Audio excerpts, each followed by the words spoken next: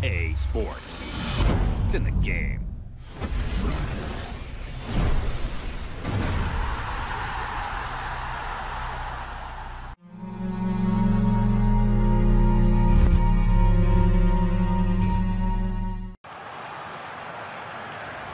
It's a very strong showing from a side that's been behind, and the team that's winning will be fearful now that this goal's gone in. Yeah, they've not played at the best here, Martin, but all of a sudden that belief has surged through the side and they're looking pretty imposing now. 3-2 on the scoreboard now. Paul Pogba. Pirlo. And they're passing so well out there.